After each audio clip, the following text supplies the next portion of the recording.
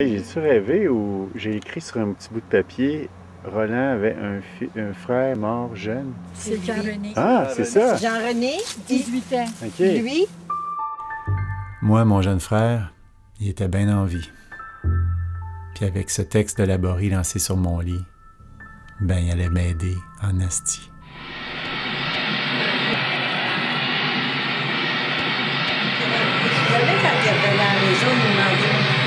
Quand il avait entendu Oui, du blues, tu sais, toute la journée. on comprend pas tout quand on est jeune, Non. mais on, on comprend que quand t'entends, c'était pas du 8 heures, là. Non, non, non, non, C'était du 10 puis 12 heures, là. Oui, 7 h du matin, 6 h du soir. Ouais. Le samedi aussi. Le Le samedi samedi matin. matin aussi, là.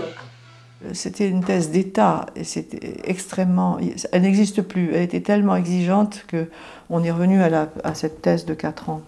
Mais la thèse d'État, maintenant j'ai un titre qui n'existe plus, euh, qu'on ne fait plus, docteur d'État en France.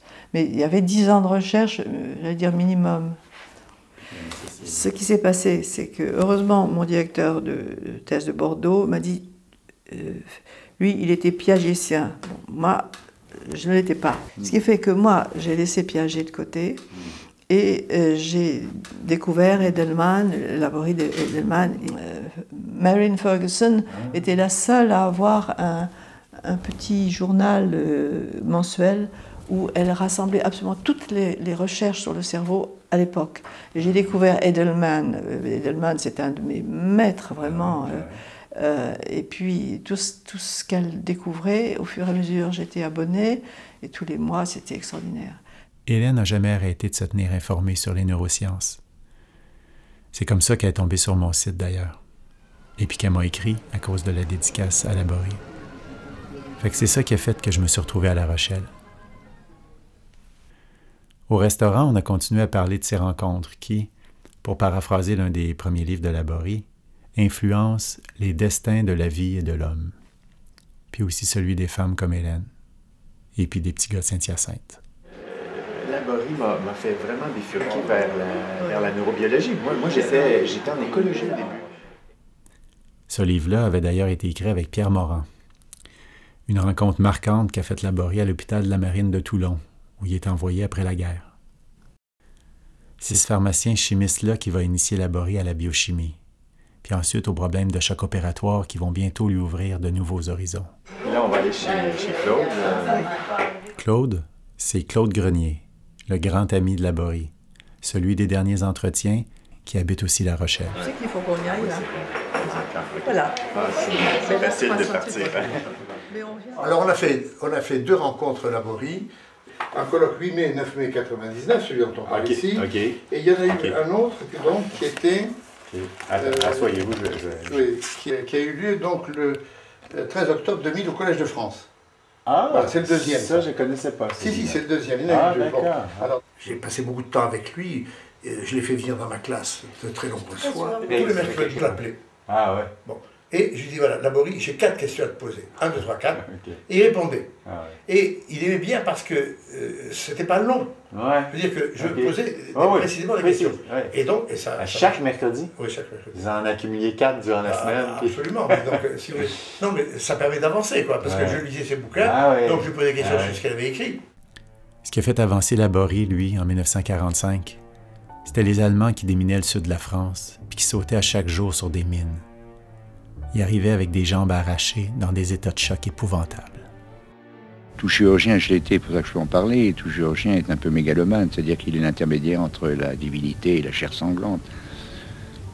Et euh, la mamie lui embrasse les mains, vous êtes mon sauveur, etc. Du point de vue narcissique, c'est formidable. Mais il y a des gens qui meurent quand même. Vous avez tout fait ce qu'il fallait pour les sauver, en particulier pendant la guerre, les choqués, les grands choqués de guerre. Bah, on fait tout ce qu'il faut, puis ils vivent, puis ils meurent, puis vous ne pouvez rien. Alors là, c'est choquant pour le, ce mégalomane qu'est le chirurgien, qui, son image idéale, l'image idéale qu'il se fait de lui-même, ben, elle s'écroule. Et essayé de comprendre pourquoi il mourait. comme mécanicien, puis là, ils ont besoin, puis tout de suite, puis bon, ça va. Mécanicien. Il est mécanicien des machines. Ah, C'est ça? C'est comme Roland? Ah oui, oui. C'est pas opérateur de machine, Non, non, mécanicien réparer réparé. ces machines-là. C'est Quand ça. il y avait un problème, là, a- c'est lui qui arrivait. Quelle Il y en la a des machine, morceaux là-dedans. Là. Oui. Ça pouvait a briser à bien des places, c'est ça. Il y Hein? en a du morceau là-dedans. toutes les petites aiguilles, là, tu sais, là. Oui, oui, oui, oui. Euh, oui, ça. oui, oui. Roland, là, quand il, il se levait, moi, je me rappelle, à certaines occasions, euh, lui, il pensait tout le temps. Là. Ah, ouais. Puis le matin, il disait Ah, là, je sais que je vais aller faire à matin. Je vais aller essayer telle affaire. C'est comme le, le combat, c'est pas la machine qui va gagner. Je vais le trouver. Je vais le trouver, c'est ça. Pour tenter de comprendre ce qui emporte ses blessés, Laborie se met à faire de la biochimie, chose rare pour un chirurgien, qui doit en plus se débrouiller avec le peu de choses qu'on connaît à l'époque. En gros, quatre neurotransmetteurs, alors qu'aujourd'hui on en connaît des dizaines. C'est comme ça qu'il remarque que chez les patients choqués, il y a un excès d'acétylcholine, un, des neurotransmetteurs, causé par une baisse de l'enzyme chargée de la détruire. Ça le met sur une piste, et à partir de là, il va faire doser chez tous ses patients l'acétylcholine par son ami Morin. Je faisais de la recherche, mais je la faisais avec à, temps perdu. C'est-à-dire que j'ai toujours été attiré par la recherche, par essayer, essayer de comprendre finalement. Peut-être que mes, trouvailles les plus intéressantes se sont faites alors que j'étais encore chirurgien et euh, di- dirigeant un service, si vous voulez. Un fait que seulement, c'était à partir de 5 heures du soir que je pouvais faire de la recherche. Quand- au moment où j'ai découvert la Borie, euh, j'étais, euh, peu de temps après l'avoir découvert, j'enseignais en Tunisie et un jour, euh, au mois de juin, à Tunis, il faisait très chaud, j'avais une classe de seconde, rien que des élèves tunisiens, et j'étudiais le relief glaciaire. Vous étiez prof d'histoire géo Histoire tous, géo. tous les deux, hein, c'est ça, ok. Et j'étudiais le relief glaciaire. Puis tout d'un coup, je me dis, mais qu'est-ce que je fais là? En plein mois de juin. Ces types, Faisait chaud. ces gens-là, il y en a qui avaient des chemises, elles étaient propres, mais déchirées complètement tellement elles étaient usées. Il y en a un, son père était porteur de, de charges de légumes au Halles, vous voyez. Et j'étudiais avec lui le relief glaciaire, que moi-même je ne connaissais pas. Je n'étais jamais vu en France. Une moraine, je savais que c'était dans les livres. quoi. Alors j'ai pensé que je devrais faire autrement. Et étudier le, le programme local, les, ressources locales. Et à ce moment-là, j'ai voulu faire un système que j'ai pas pu mettre en œuvre en Tunisie, mais que j'ai mis en œuvre en France, qui s'appelait l'enquête participation. Alors l'enquête participation, ça consiste, pour étudier par exemple l'agriculture, aller avec des élèves travailler dans une ferme. Euh, Roland, il ne connaissait pas ces machines-là. C'est Ouais, il a ouais. appris sur le tas comme le petit Bernard dans le fond. le tas. Qu'il apprenait tas à connaître la machine, comment elle marche. Alors donc, on va travailler là, une journée, et c'était une ferme de, de- Avec- avec les jeunes. Avec les élèves, Ah ouais. mes élèves, de 14-15 ans. Et l'un des responsables nous dit, voilà, vous allez dans la ferme où vous voulez, on va vous montrer comment on manipule le tracteur, la pelleteuse, aucun problème. Mais vous avez une interdiction, la salle de traite. Pourquoi Mais Parce que euh, les vaches vont donner moins de lait si vous allez. Pourquoi? Parce que votre odeur est étrangère. Et qu'elle ne supporte pas. Pourquoi? Ah, Je ne sais pas.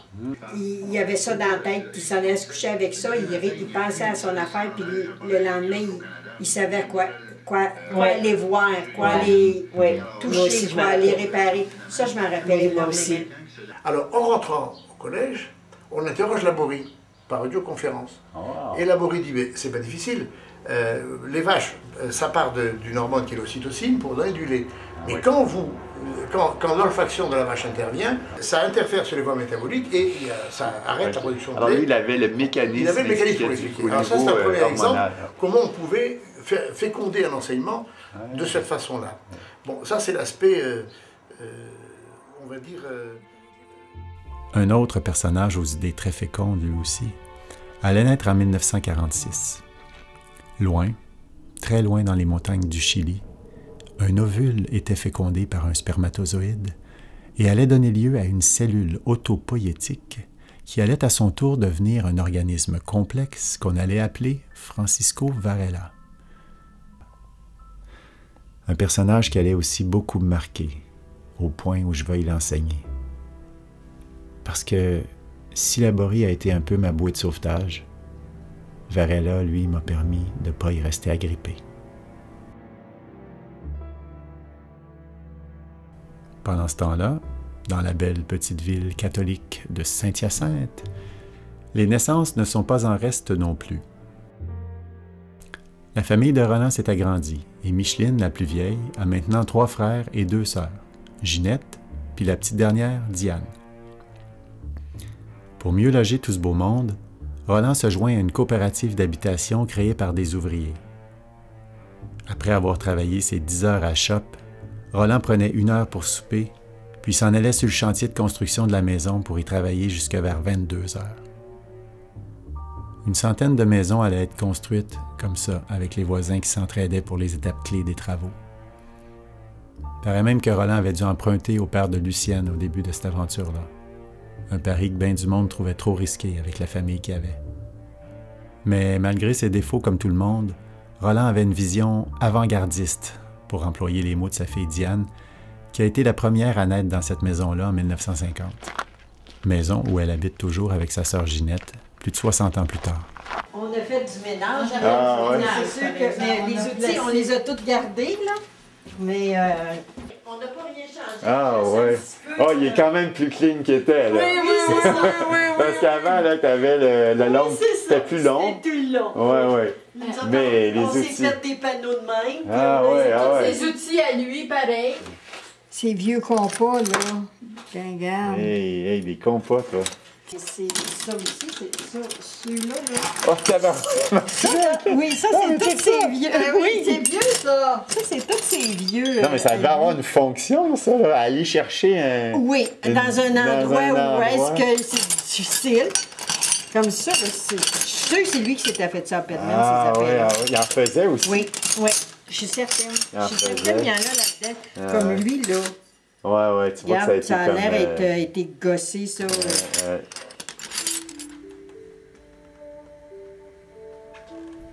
À la même époque, Laborie aussi continuait à gosser avec ses neurotransmetteurs. En 1949, il se retrouve à l'hôpital maritime de Sidi Abdallah en Tunisie, où il réussit à faire des expériences sur des cochons d'Inde que sa femme va acheter en vélo dans une ferme, à même la solde de Laborie. Le système D, quoi. Je me suis dit, on commençait à parler des médiateurs chimiques de l'influx nerveux. Je vais essayer de, au lieu d'injecter, de- de- d'injecter, oui, mais d'avoir des choses qui vont aller à domicile au niveau des terminaisons nerveuses, au niveau des, des relais ganglionnaires, vont euh, bloquer le passage de l'influx nerveux. Alors, j'ai essayé des, des trucs qui bloquaient l'acétylcholine, tropine, des ganglioplégiques, qui, bloquaient le passage gang- de l'influx nerveux au niveau des ganglions des adrénolytiques, c'est-à-dire des choses sympatholytiques. Aucun isolément ne m'empêchait des lésions expérimentales que je faisais chez le cobaye. Et alors j'ai réalisé les cocktails lithiques, c'est-à-dire un mélange de drogues qui à ce moment-là me protégeait mon animal. Et je suis passé, comme c'était des drogues qui étaient déjà dans le commerce, je suis passé chez les malades. Cette idée-là de bloquer la constriction des vaisseaux sanguins lors des opérations au lieu de la favoriser, c'était parfaitement hérétique à l'époque. Ça allait à l'encontre de tout ce qu'on croyait depuis Claude Bernard au 19e siècle, que la mort des patients à table d'opération venait de l'épuisement des moyens de défense supposés favoriser la pression sanguine. Il a d'ailleurs dû se retourner dans sa tombe, ce cher Claude, en comprenant avec Laborie que ce que faisaient au fond ces fameux moyens de défense, c'était de détourner le sang vers les muscles pour fuir ou lutter quand on est agressé. Mais sur une table d'opération, le ventre ouvert, non seulement la fuite et la lutte sont inutiles, mais au bout d'un certain temps, la vasoconstriction au niveau du foie ou des reins peut entraîner des lésions irréversibles et une fin tragique pour le patient. En 1951, Laborie est de retour à Paris. Il a 37 ans et les années qui viennent allaient être extrêmement riches sur le plan professionnel. Savait à l'époque qu'abaisser la température d'un patient pouvait réduire la réaction au choc. Sauf que quand on le faisait, ça créait des lésions dans les organes vitaux. Pas très pratique. Laborie met au point ce qu'on va appeler l'hibernation artificielle.